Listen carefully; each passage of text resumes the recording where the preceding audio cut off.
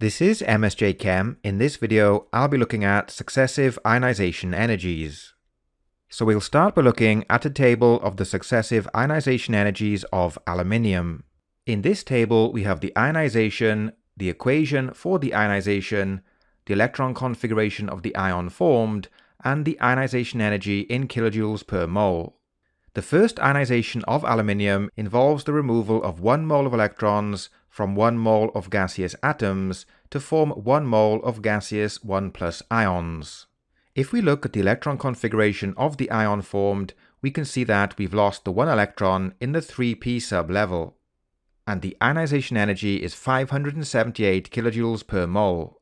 For the second ionization energy, we are starting with 1 mole of gaseous 1 plus ions. When 1 mole of electrons is removed, we end up with 1 mole of gaseous 2 plus ions. And if we look at the electron configuration of the ion formed, we can see that we've lost 1 electron from the 3s sublevel, and the ionization energy has increased to 1817 kilojoules per mole. For the third ionization, we start with 1 mole of gaseous 2 plus ions and remove 1 mole of electrons to form 1 mole of gaseous 3 plus ions. And if we look at the electron configuration, we can see that we've lost the last remaining electron in the 3s sublevel, and the ionization energy is 2745 kilojoules per mole. So as we go down the table, we can see that the charge on the ion is increasing. Another important point is that the ionization energy is increasing. The reason for this increase is that the electrons are being removed from an increasingly positive ion, which causes an increase in the attraction between the nucleus and the remaining electrons. Also note the large increase in ionization energy between the third and fourth ionizations. The reason for this will be explained later in the video. Next we look at the graph of the successive ionization energies of aluminium. So just to recap, the first 3 electrons are removed from the n equals 3 energy level. The next 8 electrons are removed from the n equals 2 energy level. And the last 2 electrons are removed from the n equals 1 energy level. Again we can see that the successive ionization energies show an increase, as electrons are removed from an increasingly positive ion. We also see two large increases in ionization energy between the third and fourth ionizations and the 11th and 12th. These large increases in ionization energy show the existence of energy levels in the atom. The first large increase in ionization energy also helps us determine to which group the element belongs. So for aluminium, the first large increase is between the third and fourth ionizations.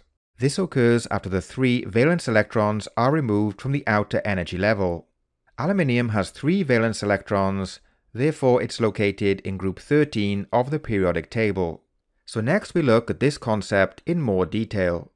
This table shows values for the successive ionization energies of the elements sodium to sulfur, starting with sodium which is located in group 1 of the periodic table. For sodium, we see a large increase in ionization energy after the first ionization, which tells us that sodium has one valence electron and is therefore located in group 1 of the periodic table. Next, we have magnesium, which is a group 2 element. Elements in group 2 have two valence electrons. And if we look for the large increase in ionization energy, we can see it occurs after the second ionization. Next, we have aluminium, which is a group 13 element, and has three valence electrons.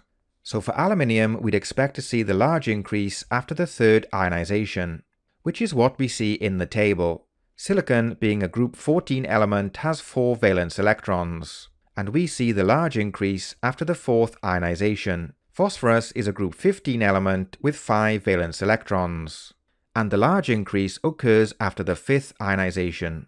And finally, we have sulfur, which is a group 16 element and the large increase for sulfur occurs after the sixth ionization. So to summarize, we look for the large increase in ionization energy, which tells us the number of valence electrons in the element.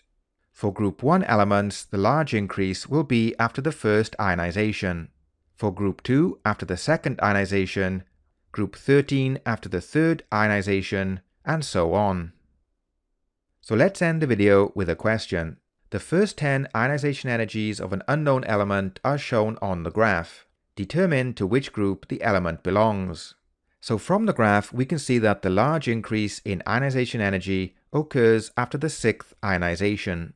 This tells us that the element has six valence electrons, and therefore the element belongs in group 16 of the periodic table.